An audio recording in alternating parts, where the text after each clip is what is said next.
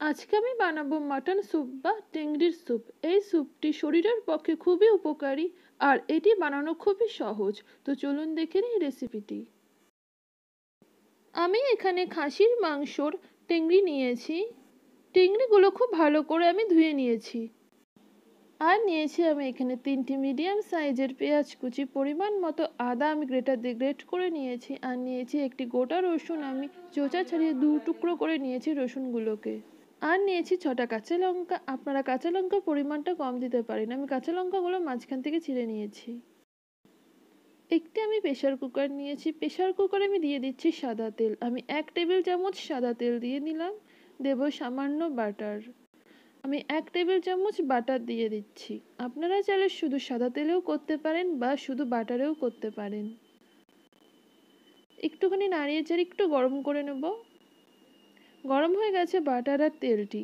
গ্যাসের ফ্লেমটি আমি কমিয়ে দিয়ে দিয়ে দিচ্ছি রসুন কুচি আর সঙ্গে কাঁচা লঙ্কাগুলো একটু সব কিছু ভালো করে মিশিয়ে নেব।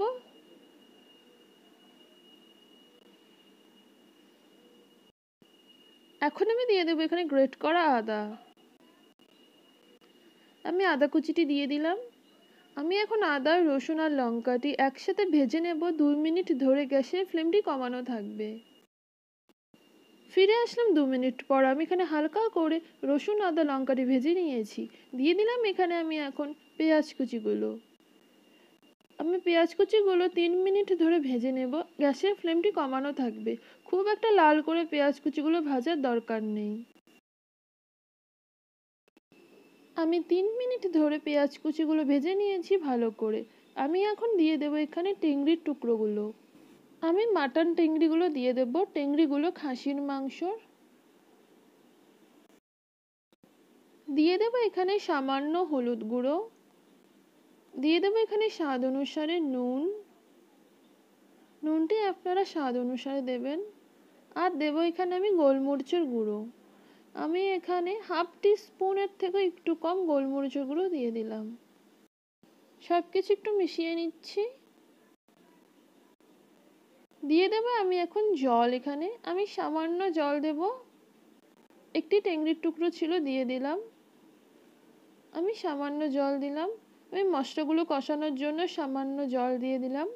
আমি এখন মশলাগুলো কষিয়ে নেব। দুই মিনিট ধরে গ্যাসের ফ্লেমটি কমানো থাকবে।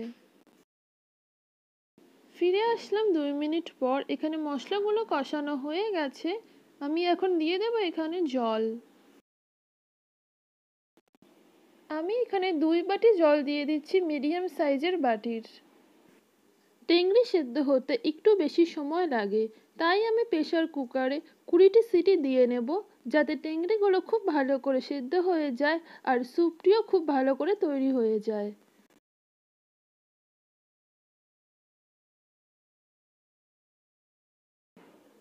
প্রেশার কুকারে কুড়িটি সিটি দেওয়ার পর ঢাকনাটি আমি খুলে নিয়েছিলাম টেংরিগুলো এখানে খুব ভালো করে সেদ্ধ হয়ে গেছে আর স্যুপটিও তৈরি হয়ে গেছে। দেখতে পাচ্ছেন কি সুন্দর পাতলা একটি স্যুপ হয়েছে আর এই স্যুপটি হেলথের পক্ষে খুবই পুষ্টিকর। এখানে রেডি হয়ে গেছে মাটন স্যুপ বা টেংরির স্যুপ আমার রেসিপিটি আপনাদের ভালো লাগলে আপনারা অবশ্যই একটি সাবস্ক্রাইব করে দেবেন। ধন্যবাদ।